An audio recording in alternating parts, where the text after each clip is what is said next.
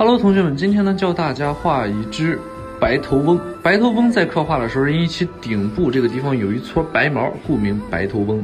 刻画白头翁的时候啊，可以从它的头部开始刻画起，嘴巴一定要注意它的虚实变化，而且在刻画背部这个颜色的时候，要和它末端的飞羽能够形成一个很好的呼应关系。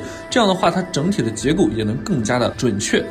刻画另一只的时候也是如此，注意你笔上墨色的一个变化，千万不可太过于一样。